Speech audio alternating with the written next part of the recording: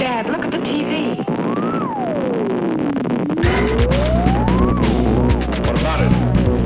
My dad ran his apparatus here in town. It caused the same kind of disturbance. Let's not all get jumpy just because a TV set goes on the blink. No, Bob.